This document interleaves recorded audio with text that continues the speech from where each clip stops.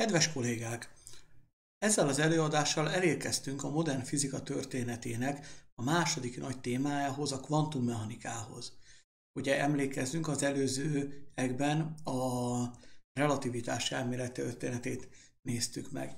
Látni fogjuk, hogy sokszor az események is kapcsolódnak egymáshoz, de a személyek mindenképpen több átfedést mutatnak ebben a történetben. A kor minden esetre azonos. Hasonlóakat mondtunk a relativitás elmélet bevezetőjében is, hogy a 19. század végén úgy vélték a fizikusok nagy része, hogy tulajdonképpen a fizikát lassan bezárhatjuk, mert mindent tudunk belőle, a klasszikus elméletek, a klasszikus mechanika, ugye Newton óta sokat fejlesztettek rajta, de az alapjai megmaradtak, az elektromos és mágneses terek elmélet, ugye Maxwell tetőzte ezt be az 1860-as években, optika, ezekről mind beszéltünk. A termodinamikáról és statisztikus fizikáról nem beszéltünk időhiányban, mert nem fér bele minden a fél évbe. Itt majd pár dia erejéig elővesszük, mert fontos dolgok lesznek benne. A szorgalmasabbak, akiket érdekelne a termodinamika története, az itt a fizika kultúr története 4.5-ös fejezetbe utána nézhet, de hangsúlyozom, ez nem lesz a számunkérés része, azokat, akik érdeke, azokat, azoknak, akiket érdekel mondjuk a hőerőgépek története, és mondjuk egy gépész orientáltságú szakos hallgatót érdekelheti, azoknak ajánlom, hogy nézzék meg. Nos, a 19. század végére már mm, sejtései voltak az embereknek arról, hogy az anyag milyen kis építőkövekből, atomokból épül föl. A legkisebb építőköveknek a gondolata már a görögöknél felmerül, ugye nagyon sok mindenhez hozzá mondjuk, hogy már az ókori görögök is, de azért azt hozzá kell tenni, hogy a görögöknél ez teljesen ilyen hipotetikus dolog volt, közel sem volt semmiféle kísérleti bizonyítékuk, hát nem is lehetett abba a korban nem volt meg a méréstechnika ehhez, de fölvetődött, hogy esetleg kicsi részecskékből állna a mindenség, amik tovább nem oszthatók. Maga a szó is, hogy atom, az az ógörög atomos, tehát a ö, tovább nem osztható ö, ból ered. Sokszor lerajzolták, hogy például a földvíz, levegő, tűz részecskéit különböző alakúnak gondolták a görögök. Ez az egyik legelső előadásban szerepelt, ugye például a tűz részecskéit szabályos tetraidernek, a földnek, a részecskéit a szabályos kockának feleltették meg, és a többi. Szóval ez teljesen hipotetikus volt. Aztán a, az első olyan dolog, ami már a kísérletekkel is kapcsolatos volt, az a kémiából származik, a 18-19. század fordulóján Lavoisier és Proust ö, állították fel az állandó súlyviszonyok törvényét, azaz megállapították, hogy az anyagok nem hajlandók akármilyen arányban elegyedni. Például adott hőmérsékleten két egység térfogatú hidrogén és egy egység térfogatú oxigéngázból lesz valamennyi víz, maradék nélkül, de ha egy picit több hidrogént teszünk mondjuk a rendszerbe, és hagyjuk őket reagálni, akkor a picit több hidrogén az megmarad maradványnak, és csak is két egység hidrogén és egy egység oxigén képes egy szép vegyületet, hát a H2-ot, a vizet képezni. Emögén nagyon hamar azt találták ki a kémikusok, nagyon helyesen, hogy arról van szó, hogy vannak pici részecskék, a hidrogének és az oxigénnek is, és ezek, amikor reagáltatjuk őket, akkor olyan molekulákat hoznak létre, H2O molekulákat, amiben egy oxigénhez két hidrogén kapcsolódik, és ez okozza az állandó súlyviszonyokat. Ennek mondom, ez egy jó modell volt, tehát nem észlelték közvetlenül a molekulákat semmi módon ebben a korban, de azért a ez volt a logikus magyarázat erre. Aztán, amit azt a relativitás elméletnél is tanultuk, a 19. század második felébe felfedezik az úgynevezett katódsugárzást, és ezt nem mondanám el újra részletesen, kérem lapozzák vissza ezt a dolgot, ott szép ábrákat is betettem, azaz, hogy légüres térben fémekből ö, izzítással, vagy pedig erős ö, elektromos térrel kirángathatók valami pici izébizék, amiről eleinte nem is tudták, hogy mik azok, elnevezték katósugárzásnak, aztán egy kicsivel később az 1880-as években sikerült kísérletileg igazolni, hogy ez nem olyan sugárzás, mint mondjuk a fény vagy a rádióhullámok, hanem ezek pici részecskék, amiket aztán elneveztek elektronnak. És rájöttek, hogy az elektronok mind-mind ugyanolyan töltésű és tömegű, sokkal kisebbek az atomnál, és rengeteg mindent lehet velük csinálni, lásd a relativitás elméletben elmondottakat. És aztán ebben a korban zajlott le az, hogy a statisztikus fizika, vagy statisztikus mechanikát megalapozták a kutatók, és rengeteg termodinamikai jelenséget megmagyaráztak. Ugye ez azokban a fejezetekben van, amit, mint mondtam, nem vettünk.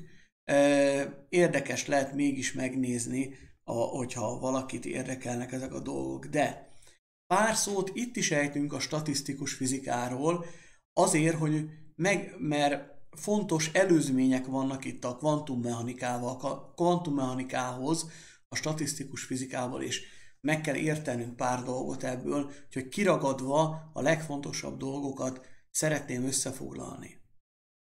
A 19. században ugye végig azt hitték, hogy a newtoni mechanika a csúcs, tehát annak már pedig működni kell mindenféle körülmények között, és alkalmazták is a newtoni mechanikát ö, atomok és molekulák mozgására, ugyan nem látták még ezeket közvetlenül semmilyen eszközzel, de ugye főleg kémiai dolgokból már megsejtették a létüket.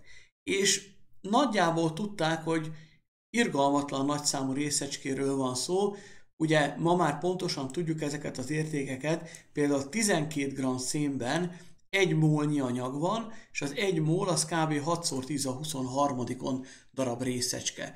Tehát ez olyan nagy szám, hogy a normál esetben ki se tudjuk fejezni. Tehát nem ilyen, hogy a csillió, billió, valami ilyesmit kellene mondani. Tehát ez még a milliárdszor milliárdnál is nagyobb szám, ami itt van. Minden esetre az 1800-as évek második felébe kialakul a statisztikus fizika, ami a sok részecskékből álló rendszereket írja le, nem azzal foglalkozik, hogy az egyes molekulák hol vannak, hanem mondjuk hány molekula van ilyen és ilyen energia között, és ezeket írja le. Két legjelentősebb kutató ebből a korból, James Clerk Maxwell, ez ugyanaz az ember, aki az elektromosságtan alapegyenleteit is összeírta egy rendszerbe, illetve Ludwig Boltzmann, akinek itt láthatjuk a szobrát, mellszobrát a, ezen a jobb oldali képen. Sajnos jobb képet nem találtam Boltzmannról a neten. Nagyon sok eredményt értek el, az első sik, nagy sikerük a gáztörvények leírása volt, a molekulák mozgása alapján meg tudták mondani, hogy miért olyanok a gáztörvények, tehát például P szer V N szer R az honnan származik ez a törvény, mi a mögöttes oka, és megtalálták, hogy a mikroszkópikus és a makroszkópikus mennyiségek hogyan felelnek meg egymásnak, ugye mikroszkópikus mennyiségek, például a molekulák térfogategységenkénti száma, tömege, sebessége, a makroszkópikusak azok, amiket pedig meg tudunk mérni normál eszközökkel, tehát például a gáz nyomása, belső energiája és e, egyéb paraméterei. Szóval Maxwell, Boltzmann és társaik megtalálták erre a magyarázatot. És nagyon sok fontos tételt is felállítottak, ami számunkra is releváns lesz a kvantummechanikában. Például felállították az ekvipartíció tételét, kimutatták, hogy ha a rendszert hagyjuk megtalálni az alapállapotát, tehát nem ingereljük kívülről folytonosan, hanem hagyjuk, hogy beálljon az úgynevezett hőmérsékleti egyensúly, akkor hőmérséklet egyensúlyban a részecskék minden szabadsági fokára egy-kettet kászorti energia jut. Például az X, az Y vagy az Z irányú mozgásban egy molekula átlagosan 1-2 K energiát fog tárolni, ahol K egy univerzális állandó, itt van az értéke, és a hálás utókor ez Boltzmann állandónak nevezte el nem véletlenül, T pedig a hőmérséklet Kelvinben. Tehát itt van a kapcsolat, egy makroszkópikus mennyiség, a T hőmérséklet, és egy mikroszkópikus mennyiség, hogy egy molekula mondjuk az X irányú mozgásában, egy szabadsági fokában mennyi energiát tárol. Tehát a hőmérséklet az a molekulák mozgásával kapcsolatos. Aztán egy másik nagy eredmény volt, hogy az entrópia fogalmát sikerült értelmezniük. Na most itt egy kicsit gondba vagyok, az, ö, nem fogok ebbe belemenni, mert tudom, hogy a hallgatóság többféle szakról jött össze. Azok, akiknél a ö, hő és áramlástantár szerepel, ott hallhattak az entrópiáról. Annyit említsek meg, annyit hadd említsek meg, hogy az entrópia ez egy olyan fogalom, amit a hőerőgépek kapcsán ismertek meg a kutatók, és nagyon fontos volt annak a leírásában, hogy mekkora hatásfoka is mondjuk egy gőzgépnek, vagy manapság egy belső égési motor leírásában az entrópia kult szerepet játszik.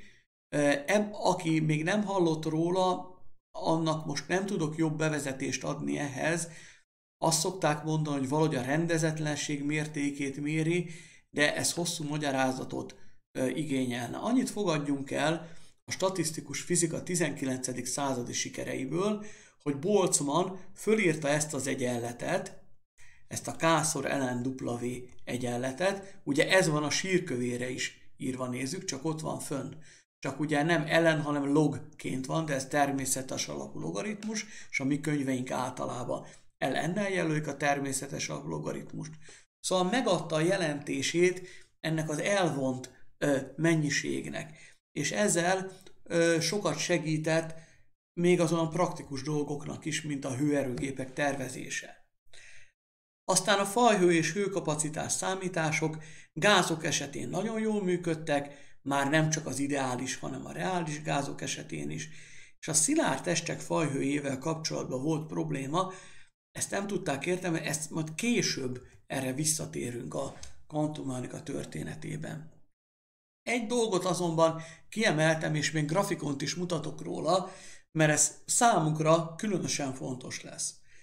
Maxwell és Boltzmann az elméletük segítségével nem csak egyszerűen az ekvipartíció tétel alapján megmondták, hogy mennyi az átlagos ö, mozgásenergia XY-EZ irányban, hanem meg tudták mondani az eloszlás függvényt is.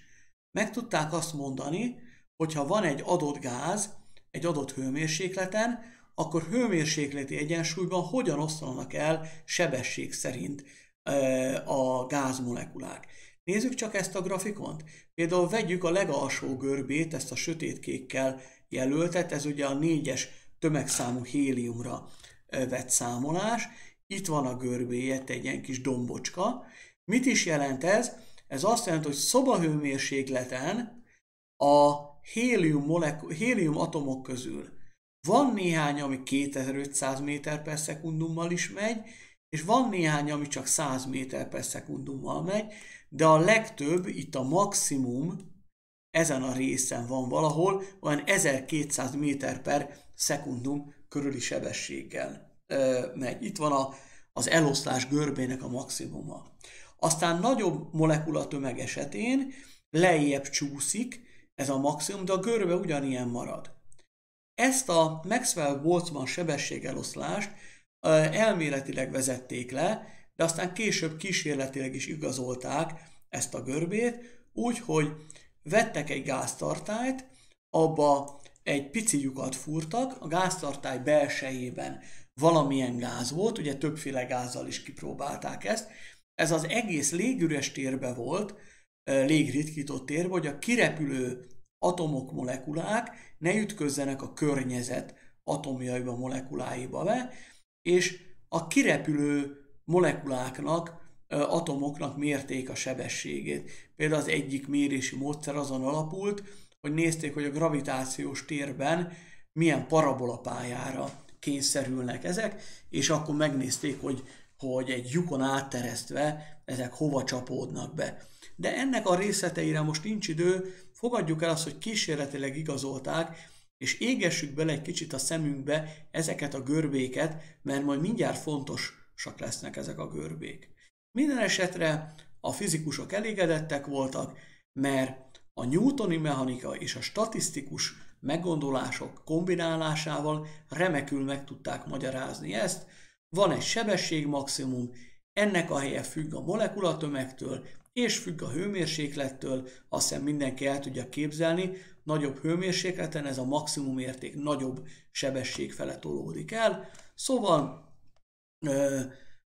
úgy gondolták ezek a, a kutatók, hogy remekül működnek a régi és az új elméleteknek a kombinációi.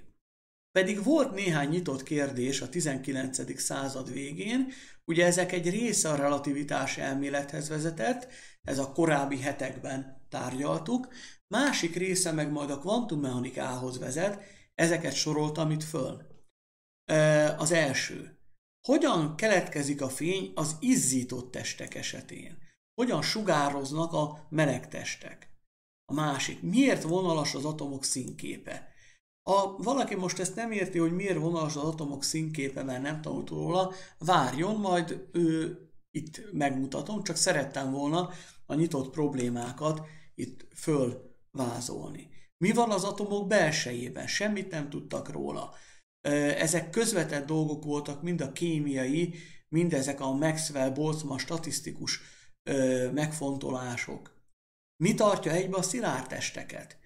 Érdekesség ezzel már Newton is megpróbálkozott ez utóbbival, kiszámolta, hogy a gravitáció semmiképp nem elegendő, tehát a test részecskének az öngravitációja sok nagyságrendel gyengébb annál, hogy erre magyarázatot tudjon adni. Tehát ez tulajdonképpen ö, ö, nyíl, teljesen nyitott kérdés volt az ősidőktől kezdve. Voltak némi próbálkozások, de igazán komoly eredmények nem születtek. A korábbi sikerek miatt, például a Maxwell-Boltzmann statisztika miatt azt hitték, hogy ha összekombináljuk a klasszikus mechanikát, a Maxwelli elektrodinamikát, meg a statisztikus fizikát, akkor majd minden rendben lesz, és le tudjuk írni a világot ezekkel az egyenletekkel. Hát meglátjuk, hogy a, rövidesen, hogy a fizikusok nagyot csalódtak, eleinte mérgelődtek egy sort, aztán rájöttek, hogy hoho, ebből valami érdekes dolgok jönnek ki. És akkor nézzük csak az első témát részletesen, amit itt a problémák közt felsoroltam, hogyan keletkezik a fény az izzított testek esetén. Ennek a fejezetnek az a cím, hogy a feketetes sugárzás, ami lehet, hogy első pillanatban hülyén hangzik, mi az, hogy a feketetes sugároz, de majd mindjárt megmagyarázom ezt a dolgot. Nézzük csak. Ősidőktől ismerték az emberek, hogyha fölizzítok valamit, akkor az világítani fog. Ugye lényegében erre alapulnak az ősi világító eszközök, tehát a gyertya, a fákja, a akármilyen tűzzel kapcsolatos dolog.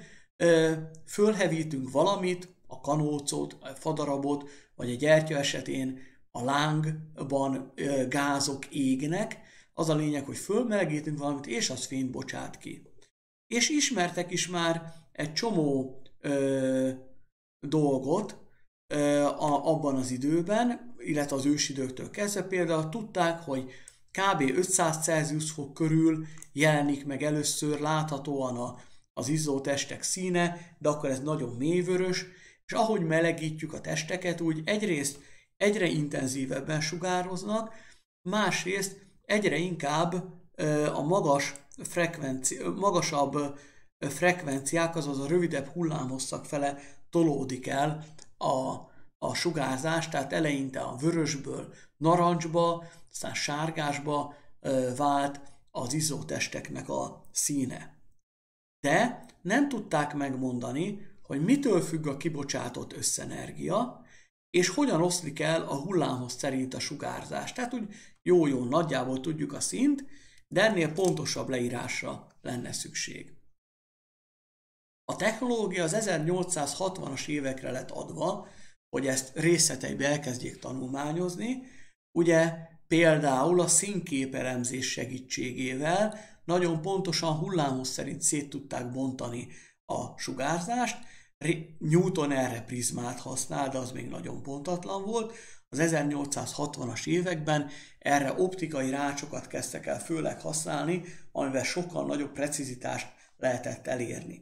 Zárójeles megjegyzés, ugye említettük Jedlik Ányost, aki remek optikai rácsgyártógépet ö, készített. Zárójel bezárva. Szóval elkezdték vizsgálni a hullámhoz függését a különböző izzított testeknek, és ö, ahhoz, hogy tudjunk erről kicsit konkrétan bevezetni, egy jelöléspárt szeretnék itt ö, használni a következőkben. A tárgynak, a tárgynak a kibocsátó képességét, hát a nemzetközi szóhasználat az emisszió képességét E-lambdával fogom jelölni. Ez adott körülmények között megmondja, hogy lambda hullámhosszon mekkora energiát sugároz ki, tehát időegységenként, felületegységenként a tárgy mennyi energiát sugároz ki. Az elnyelő képesség, az A lambda, az A mint abszorpció, az pedig azt mutatja meg, hogy a belső sugárzásnak lambda hullámhosszon hányad részét nyeli el a test. Ugye ebből a kettőből jön össze, hogy milyennek látunk egy testet. Mert a hétköznapi tárgyak azok nem izzanak, ahogyha körülnézünk itt magunk körül a szobában, akkor azoknak az ellamdája mondjuk azt, hogy nulla, legalábbis olyan hullámhoz tartományban van, amit a szemünkkel nem észlelünk. Az elnyelő képessége viszont jelentős, az A lambda, hiszen a belső fény egy részét elnyelik, másik részét visszaverik, ezért vannak sötét és világos tárgyak, illetve ezért különböző színűek a tárgyak, mondjuk egy piros tárgy, annak az elnyelő képessége a pirosnak megfelelő hullámhosszon alacsony, mert a piros sat veri vissza, meg az árnyalatait, a többi hullámhosszon pedig magas az elnyelő képessége, és ezért a bejövő mondjuk napfényből több piros verődik vissza, mint más színű. Szóval ezekkel lehet leírni az alamdával a tárnak a saját színét mondhatni, tehát ahogy a visszaverése reagál, az ellamdával pedig, hogy ő hogyan bocsátja ki a fényt. Ugye visszalapozva az előző oldalra, például itt van ez az izzó patkó, ha ezt a patkót lehűtenénk, akkor láthatnánk a saját színét, az alamdáját, ami közel konstans, mert szürke, tehát kb. minden hullámhosszat egyformán nyelel. Az E lambdája, az pedig az emissziója, az pedig ilyen izzított állapotban 800 ezer Celsius fok körül kezd lényeges értéket fölvenni. Nos, itt a jobb oldali ábrán látható fizikus Gustav Robert Kirchhoff vizsgálta ezt a problémát, és azt találta elméleti úton, hogy az E lambda per A lambda hányadosnak függetlennek kell lenni az anyagtól és a hőmérséklettől. Függ, tehát függetlennek kell tehát függetlennek kell lenni az anyagtól és a hőmérséklettől, tehát egy adott hőmérsékleten az E lambda per A lambda, ha az egyik, a másik, vagy az akárhányadik tárgya számoljuk ki, akkor ugyanaz kell legyen e, ez a kettő. Ez egy érdekes törvény, talán kicsit meglepő. Nézzük, ez mit jelent? Hogy ahol egy tárgy, amilyen hullámhosszon jelentősen nyelel, azon a hullámhosszon jelentős mértékben sugároz. Hogy ez a, ez a hányados, ez így legyen. Például egy piros tárgy, azt mondtuk, hogy a pirosban kicsi az abszorciója, pirosat veri vissza, kicsi lesz az emissziója. Egy piros tárgyat, hogyha melegítünk, akkor az a saját fényében kevesebb pirosat fog relatíve kisugározni. Egyrészt ez a törvény kicsit szomorúságra ad okot, mert azt mutatja, hogy attól függően, hogy milyen színűre festjük a tárgyakat, nagyon máshogy fognak sugározni. Másrészt viszont ez egy jó törvény, ez a Kirchhoff-féle sugárzási törvény, mert lehetővé teszi, hogy egyszerűsítsük, ugyanis hogyha egy adott anyag esetén megállapítjuk ezt a törtet, hogy hogyan függ a hullámhoztól, egy adott hőmérséklet, aztán másik hőmérsékleten újra megállapítjuk, akkor abból a többi anyagnak a sugárzása is következtethetünk. Egy zárójeles megjegyzés, főleg a villamosmérnök hallgatóknak lehet ismerős Kirchhoffnak a neve máshonnan, ugye a, az áramköri törvényekből ismerős Kirchhoffnak a neve, ez ugyanaz az ember, tehát nem véletlen névazonosság van, hát több mindennel foglalkozott. Nos, és a Kirchhoff törvény után jött el az, amit előre jeleztem, hogy ha ez az E lambda per A lambda, ez minden anyagra ugyanaz egy adott hőmérsékleten, akkor ö, elég, hogyha megállapítjuk az úgynevezett abszolút fekete testnek az emisszióját a hullámhoz függvényében, mert akkor ebből mindegyiket ki tudjuk, le tudjuk vezetni.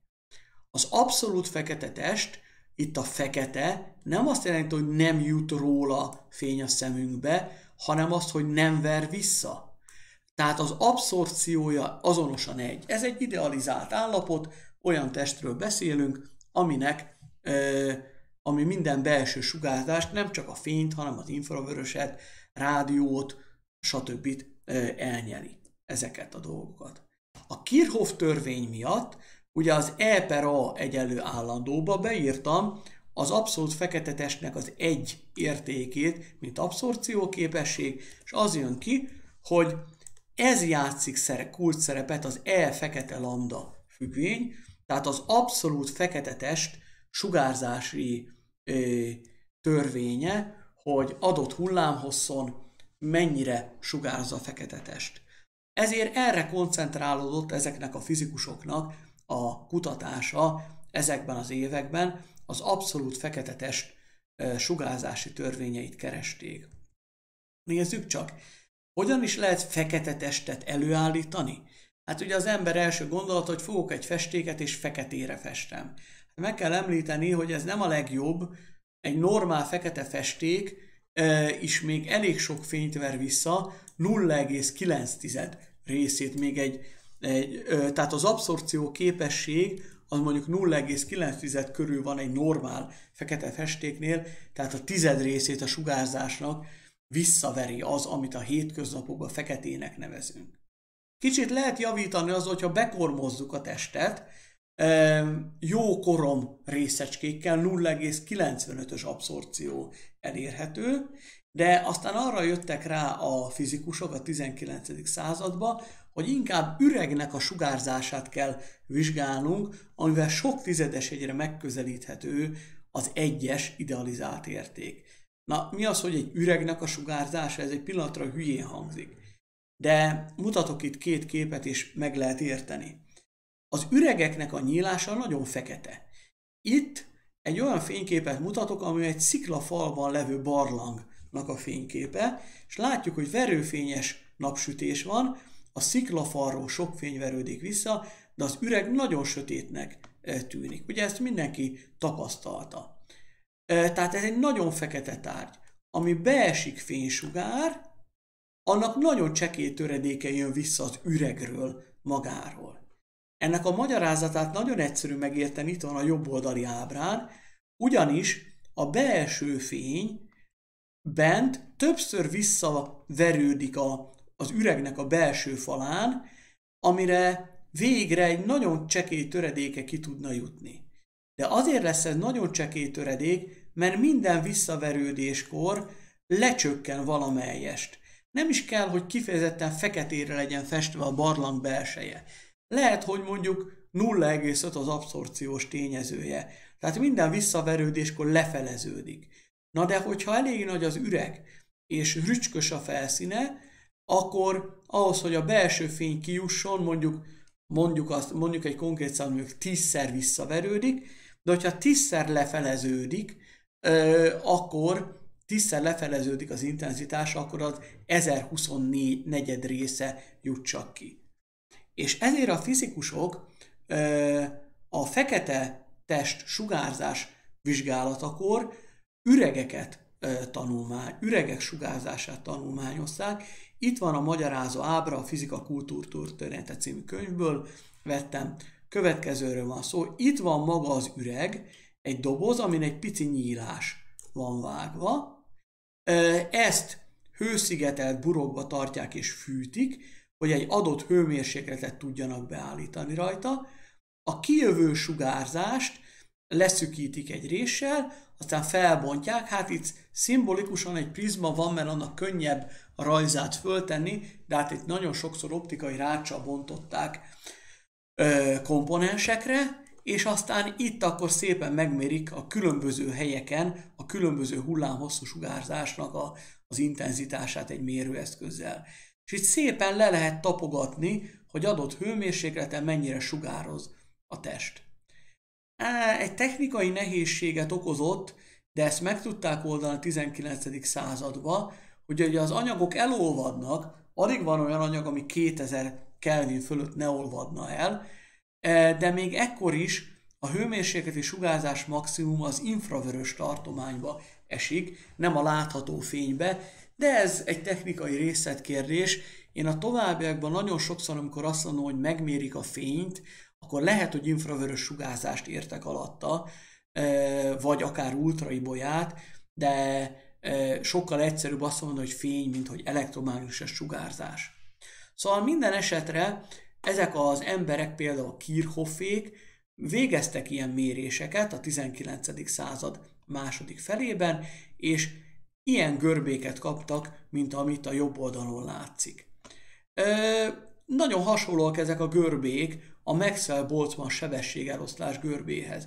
Nézzük csak, ezeknek is van egy maximuma, mondjuk itt, jobb oldalt, bal oldalt lecsengenek, ennek is függ a hőmérséklettől a maximuma, itt ugyan éppen fordítva van, tehát minél nagyobb a hőmérséklet, annál kisebb lambdára, lambdához húzódik ennek a maximuma, de ugye ez igaziból nem jelent nagy problémát.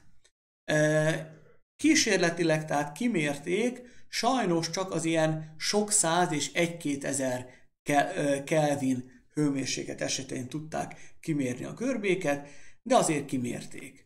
Megnézték magát a görbét, meg a görbe alatti területet is, ugyanis a görbe alatti terület mutatja meg, hogy összesen mennyi energiát sugároz felületegységenként és időegységenként az adott test, tehát mekkora teljesítménnyel sugározza ezt.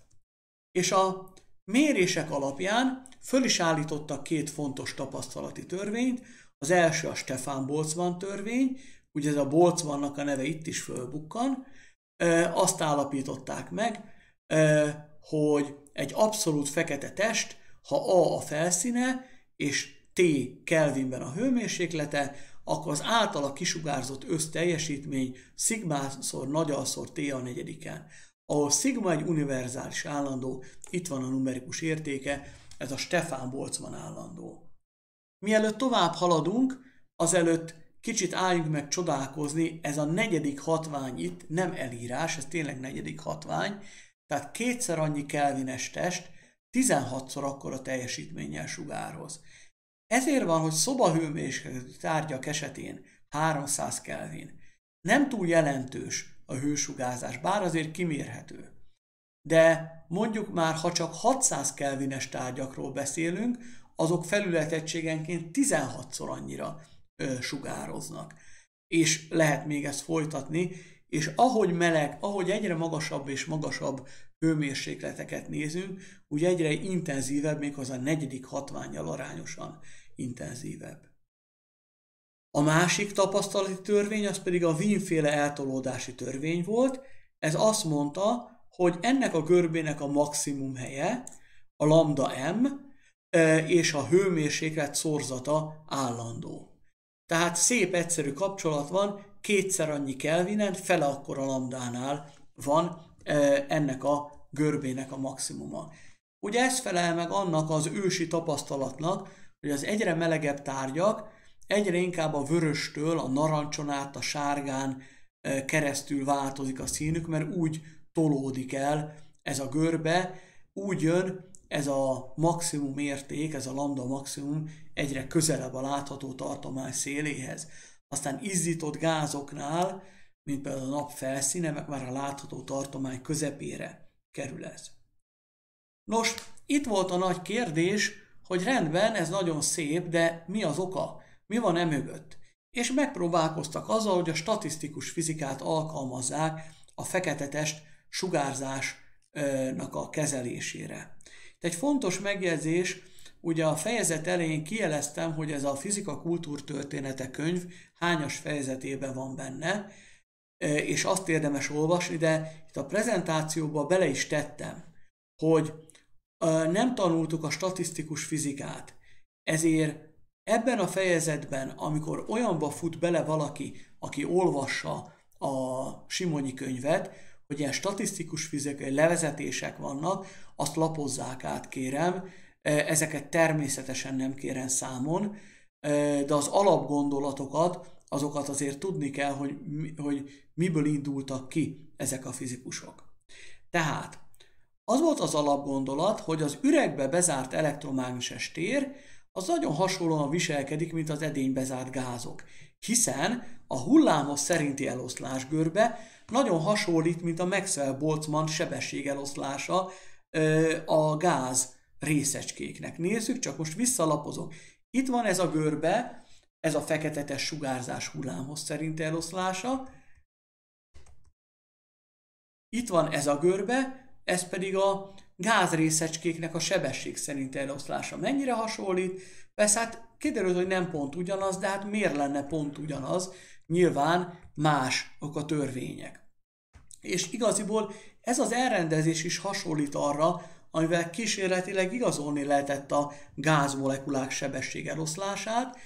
Egy tartályban hőmérsékleti egyensúlyba tartjuk, Hát vagy a gázrészecskéket, vagy ebben az esetben a feketetes sugárzást, egy kis lyukon át kijön a sugárzás, vagy kijönnek a molekulák, szétbontjuk őket, hát a molekulákat sebesség szerint, a sugárzást hullámos szerint, és megmérjük az eloszlást. Tehát annyi a hasonlóság, hogy azt gondolták, hogy á, nem lehet ezzel probléma, pedig volt. Sokan megpróbálkoztak a különféle modellekkel, és itt a Simonyi könyv a levezetéseket is említve ö, bele is megy a részletekbe, amiben mi nem megyünk bele. Annyit jegyezzünk meg, hogy némelyik fajta közelítés csak a magas, másik meg csak az alacsony hullámhosszakra, illetve frekvenciákra volt igaz, de nem sikerült összerakni az egészet egy működő rendszerré. Az volt az alapvető probléma, hogy nem ismerték, hogy mi van az atomok belsejében. Nem tudhat, ennek megfelelően nem tudták leírni, hogy hogyan hat kölcsön a fényjel egy atom. Erre különben visszatérünk még később az atomfizika történeténél, de most egyelőre az elektromágneses sugárzás kvantum elméletével ö, foglalkozunk. A következő a helyzet. Ö, nagyon sokszor alkalmazták az atomokra azt a fizikai modellt, tudván, hogy ez biztos, hogy nem pontos, de jobb hiány, e, ezt a képet e, tulajdonították ennek, hogy az elektromos oszcillátort, vagy a dipol sugárzónak a, a viselkedését vizsgálták más szóval. Elképzeltek egy nagyon picike kis rendszert, egy pozitív-negatív töltésből álló rendszert, ami rugalmasan van összekötve, szimbolikusan itt ezt egy rugóval jelölöm, de hát ugye nyilván ez az atomok, molekulák között nem egy rugó lesz, hanem valamiféle más ö, kapcsolat. Nos, ha egy ilyen elektromos dipólust, tehát egy ilyen kétpólusú rendszer rezgésbe hozok, és ez, ez közeledik, távolodik egymástól a két töltés, akkor ugye az történik, hogy a rezgőtöltés változó elektromos teret hoz létre, az ugye változó mágneses teret hoz, és végül is ebből kiindul az elektromágneses sugárzás, ahogy azt Maxwell elmélete leírta, és ahogy azt Henrik Hertz kísérletileg igazolta. A fordítottja is működik, ha kívülről jön be egy sugárzás, az képes megrezgetni ezt a rendszert, és az energia megmaradás törvénye miatt a sugárzásból nyelődik el valami, ami átadódik a rezgőrendszer energiájának. Ezt a rendszert, ezt az egyszerű oszcillátort a klasszikus mechanika és az ö, Maxwelli elektromosságtan alapján sikerült leírni, és remekül működött például a rádió ö, sugárzás a, a megismerésében.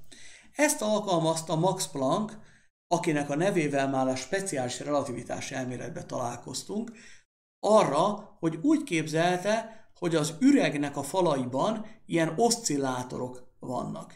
Tudta ugyan, hogy biztos bonyolultabb a dolog ennél, de nem ismerték az atomok szerkezetét, meg ugye a Kirchhoff törvény miatt azt is lehetett tudni, hogy tulajdonképpen mindegy is, hogy pontosan hogyan néz ki az anyag belülről, mert úgyis csak az elfekete lambda számít, ami úgyis anyagfüggetlen.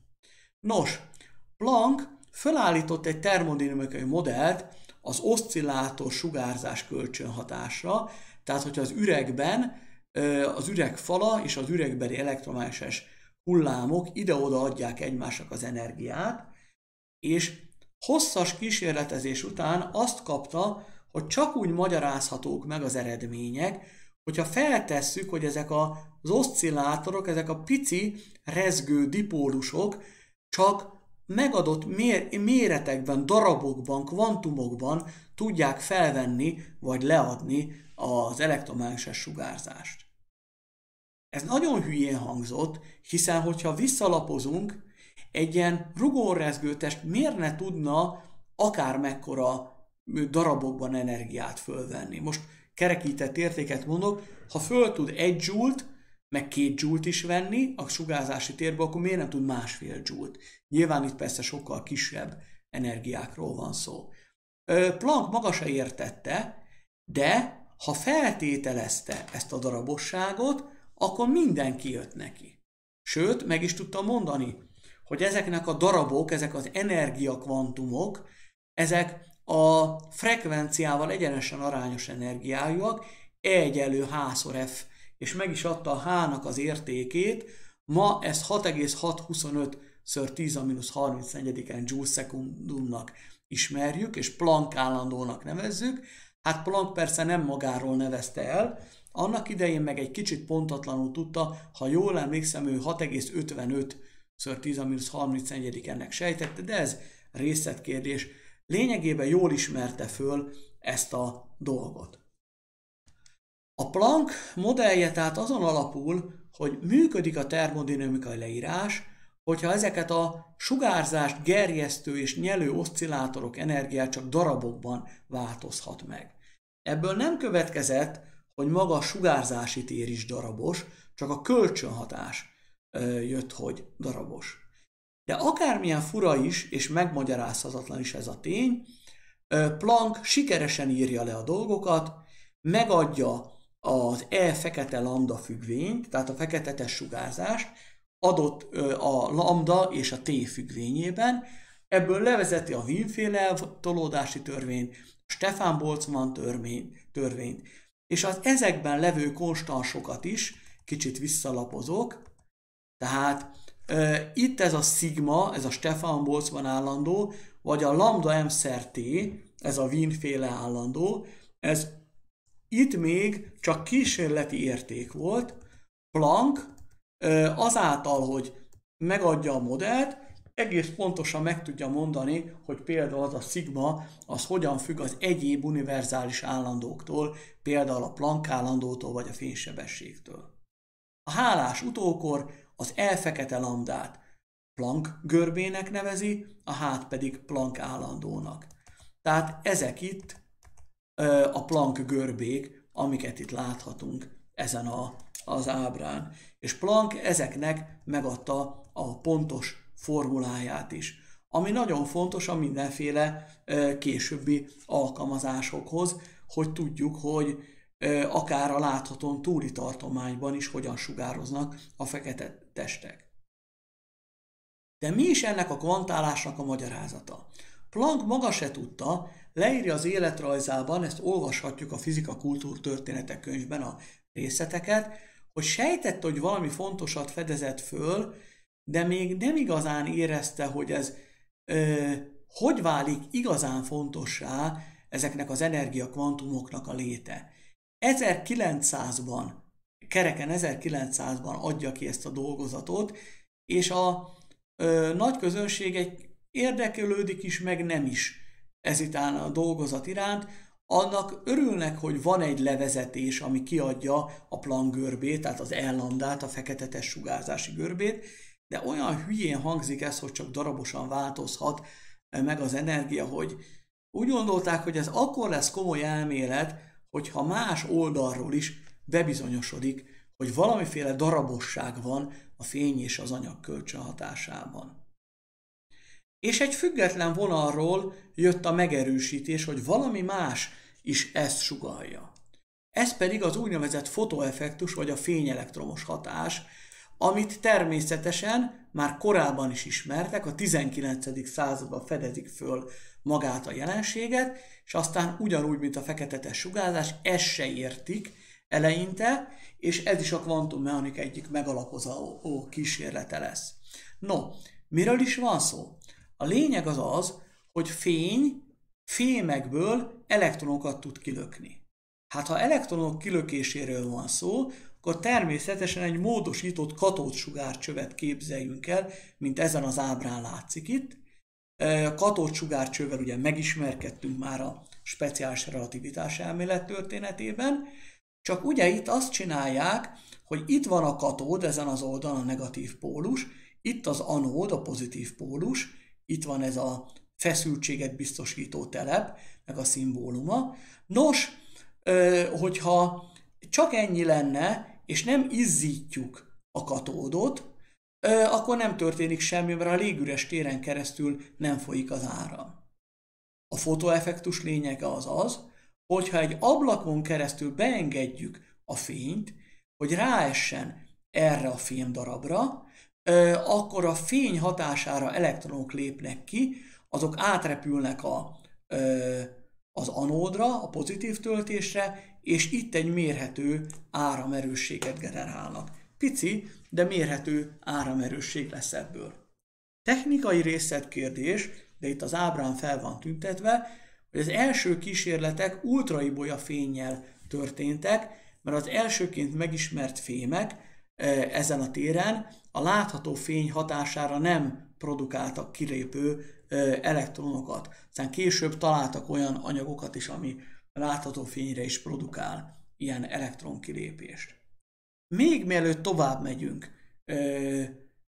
ennek a jelenségnek a megmagyarázására, ha most élő előadás lenne, akkor föltenném a kérdést, és hagynám a hallgatóságot gondolkozni, hogy vajon ez az elvont szerkezet, ez minek az őse? És ilyenkor a hallgatók egy-két perc gondolkozás után rászoktak jönni, hogy ez egy irgalmatlanul fontos berendezés. Mi történik? Fényből áram keletkezik. Például ez az alapja annak, hogy fénymérő vagy fotocella ö, berendezéseink legyenek, akár egy egyszerű fénykapu, ami észreveli, hogy áthaladt egy ember, vagy áthaladt egy munkadarab a szerelőszalagon, akár egy fénymérő, ami pontosan megméri a bejövő sugárzásnak az erősségét, de akár ez a napelemeknek az alapötlete is, ott is a bejövő fény elektronokat, lök ki valahonnan, persze akkor a napelem esetén nem csorgatjuk el azonnal el valami áramkörbe, hanem gyűjtjük őket, megvárjuk, hogy feszültség halmozódjon föl, és a többi. De ez az alapja a digitális fényképezőgépeknek is. Csak ott minden pixelbe külön-külön zajlódik le ez a folyamat, és ott ilyen több rétegű eszközben az első, első rétegből kilökődő elektronokat összegyűjtjük, valahol aztán később kiolvassuk. Tehát ez az alapkísérlet, ez mai számtalan alkalmazásnak a, a, a magyarázatául szolgál. Nos, visszatérve az alapkísérletre, szóval észrevették a jelenséget és elkezdték tanulmányozni. Például meg, tudtuk, meg tudták változtatni, hogy mennyi a bejövő fénynek a hullámhossza, mennyi a lambdája, illetve mennyi a teljesítménye, hány wattal sugározunk, az erősségét meg a színét befolyásolni tudták.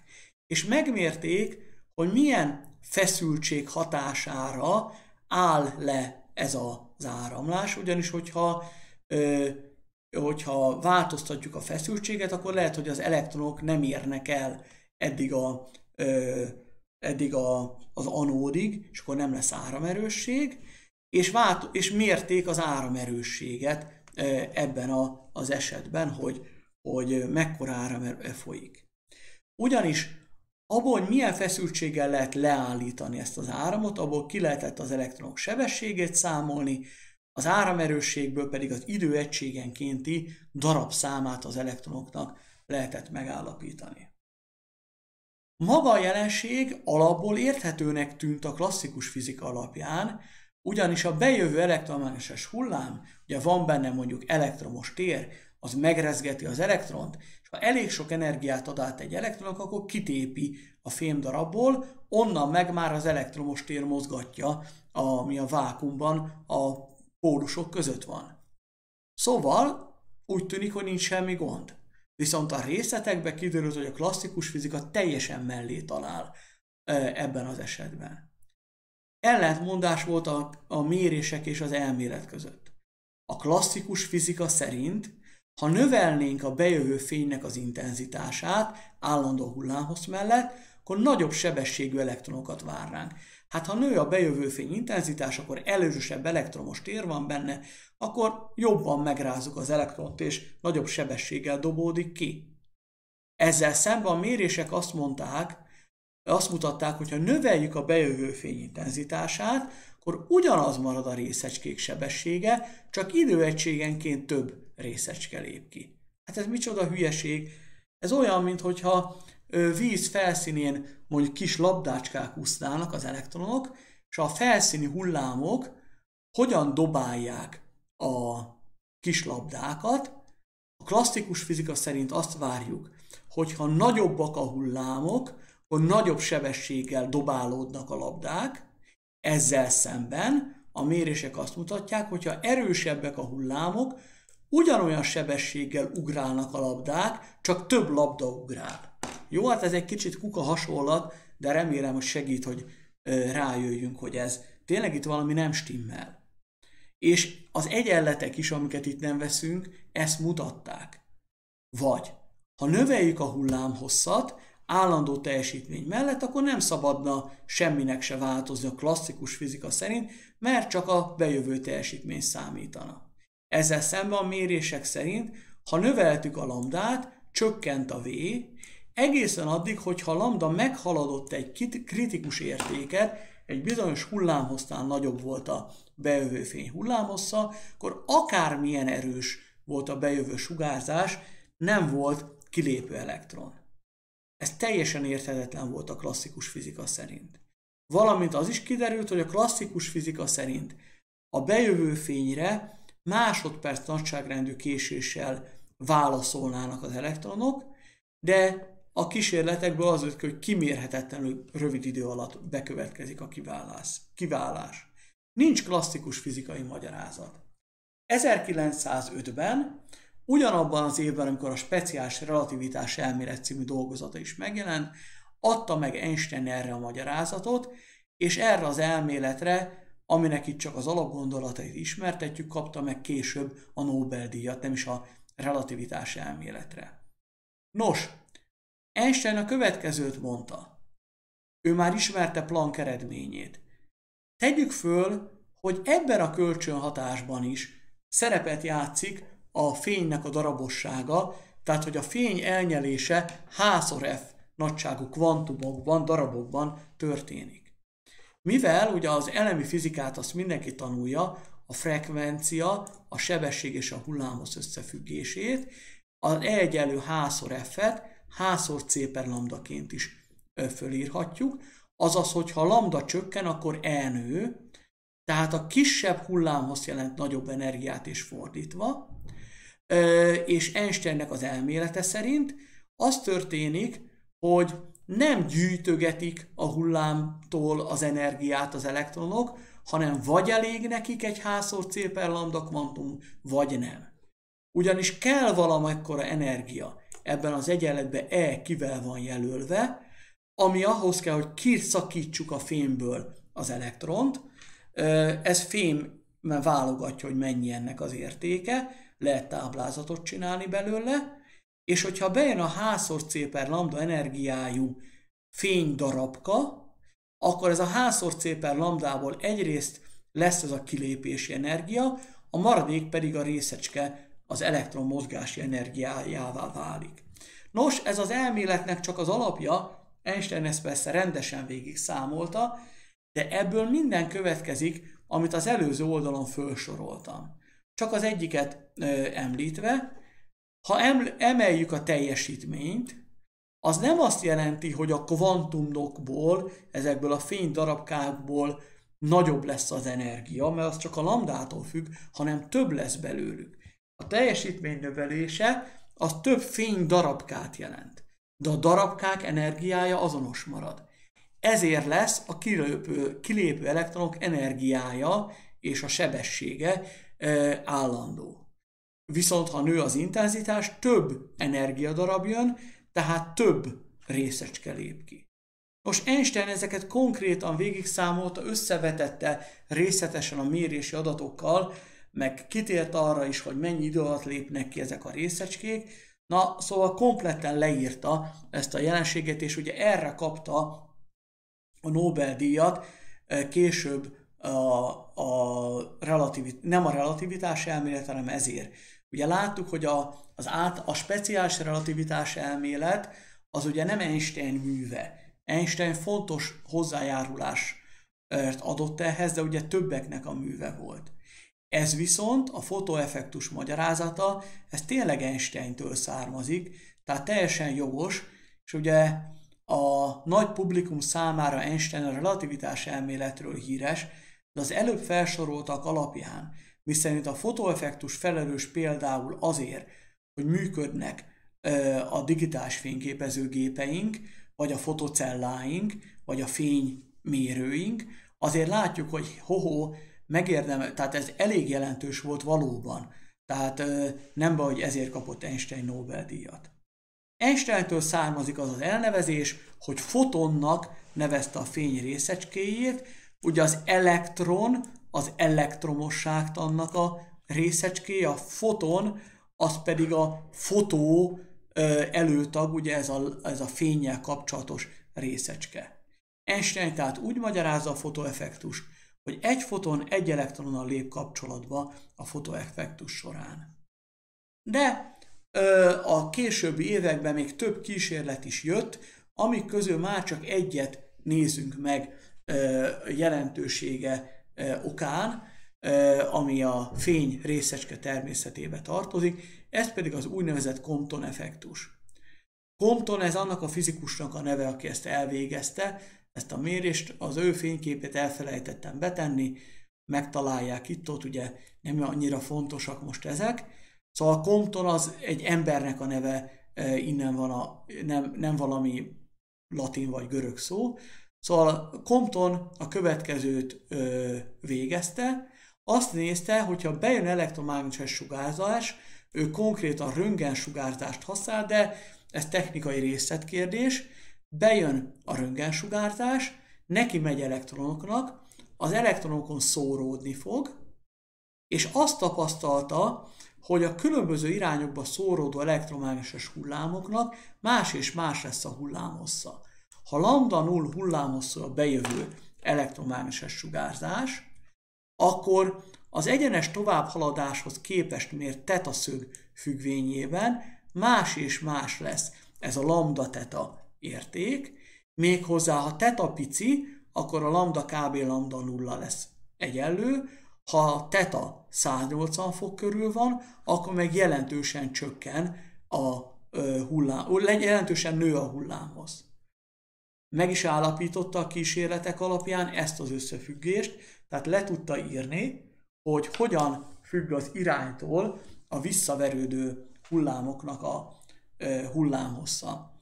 Egy megjegyzés itt az ábrán azzal próbáltam a hullámhossz változást szimbolizálni, hogy narancssárgával jelöltem a bejövő hullámokat, ugye az egy kicsit rövidebb hullámhoz, és pirossal a szórt hullámokat, ami nagyobb hullámhoz, ezért vannak ezek a színek. Valójában az ábra nem precíz, úgy kellett volna lerajzolnom, hogy, el, hogy ilyen ezek a körök színesek, változó színűek lennének, tehát előre narancs, és hátrafele lenne ilyen pirosas, és a kettő között menne át fokozatosan.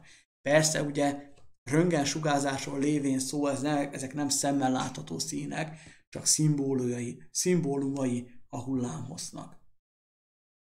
Nos, Compton meg is adja a magyarázatot, de hát ő persze ismerte Plancknak, Einsteinnek és másoknak az eredményeit, és azt mondja, hogy ez a kölcsönhatás is egy foton egy elektron kölcsönhatás, a bejövő foton úgy pattan le az elektronról, mint amikor egy kisebb labdát nekivágunk egy nagyobb labdának, és szépen az energia és lendület megmaradás alapján fölírhatók ezek a törvények. Például az elektron mozgást, mozogni kezd el az ütközés után, azaz elviszi a mozgási energia egy részét, tehát a szórt foton kisebb energiájú, azaz nagyobb hullámhosszú lesz. És számszerűen is kiadta ezt a törvényt Comptonnak a számítása. Ebből a mérésből és a kiértékeléséből jött ki, hogy ezek a fotonok rendelkeznek valamekkora energiával, tehát úgy hat kölcsön a fény az elektronnal, mintha ilyen energiájú, ilyen lendületű P egyenlő H per lambda, és ilyen tömegű golyócskák röpködnének a, az elektromágneses sugárzásban. És így sikeresen leírta Compton ezt a jelenséget is, amit az utókor Compton effektusnak nevez. Két megjegyzés itt a végére.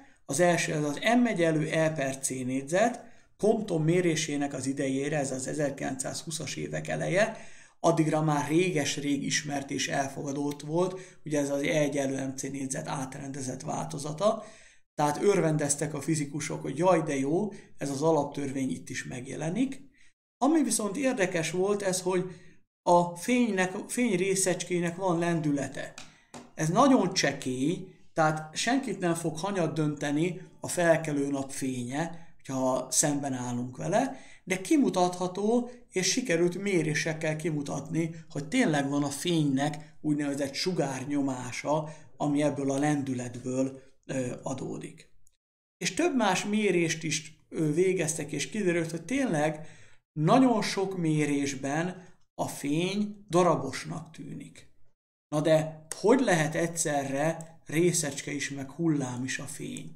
Ez, ez nem jött össze abban a korban. Einsteinnek volt egy ötlete, az úgynevezett tűsugár elmélet, amit talán nem a legjobban rajzoltam itt le, de a lényeg látszik, hogy úgy képzelte Einstein, hogy ilyen pici, rezgő vonalkákból áll a fény, mint hogyha egy ilyen pici fénysebességgel haladó tű lenne, ami halad egyenes vonalban, amíg meg nem zavarják, és közben rezeg is. Ez volt Einstein tűsugár elmélete. Egyrészt van részecske természete, másrészt meg van hullám természete, és meg mert rezeg. Einstein ezt nagyon perspektívikusan találta ezt az elképzelést, de kiderült, hogy nem igaz az elképzelés. Egy történeti érdekesség, hogy egy Selényi Pál nevű magyar fizikus adta a legerősebb cáfolatát a tűsugár elméletnek, ugyanis kimutatta, hogy egy atom, ha sugároz, akkor sugárzásának a két nagyon ellentétes irány, majdnem teljesen ellentétes irányba induló része közt is interferencia hozható létre. Tehát egy hullámvonalat írja le, itt a majdnem fölfele, meg a majdnem lefele irányuló ö, sugárzást is. Na, térjünk ki egy picit Selényinek a kísérletére. Az volt a lényeg, hogy vett valami nagyon vékony átlátszó réteget, történetesen ő nem sima üveget, hanem csillám nevű anyagot használt, a tetejét bevonta egy vékony fluoreszcens réteggel.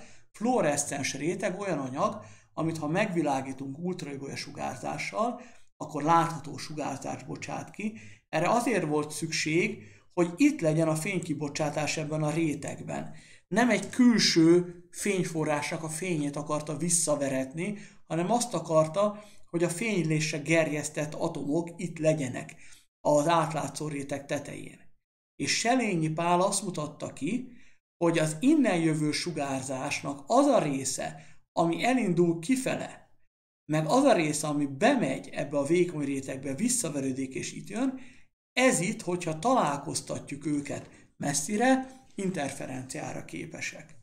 Ez az Einstein-féle tűsugár elméletben nem lenne lehetséges, mert ott erre indulna egy tűsugár, erre indulna egy tűsugár, hát elég bénán rajzoltam, de azért talán el lehet képzelni, és ez a két tűsugár egymástól független lenne, véletlenszerű fázis eltérés lenne közöttük, és nem lenne interferencia. Nos, itt van egy olyan eset, amikor látjuk, hogy Einstein is tévedhet, és azért Einsteinnek sok tévedése is volt, nem volt ő egy félisten, hogy minden, ami mond, amit mondott, az jó volt. Látjuk majd a kvantummechanika kapcsán is sok dolgot nem bírt elfogadni, pedig a kísérletek meg az elmélet egy az egybe mellett álltak. De ez egy olyan érdekesség, egy kisebb történeti intermezzo, amikor a nagy Einsteinnek egy elképzelését sikerült megcáfolni, és ezzel egy, ebben egy magyar fizikus is fontos szerepet játszott. Most ne a káröröm legyen bennünk, hogy he-he-he-he, magyar fizikus megcáfolta Einstein, azért mutattam be ezt a példát, hogy lássuk, hogy a fizika története az, az nem olyan egyenes vonalú, mint az egyszerűsített bemutatások szokták azt feltüntetni. Ezeket igenis sok rossz elmélet is megfogalmazódik, például a tűsugár elmélet, az nem igazolódott.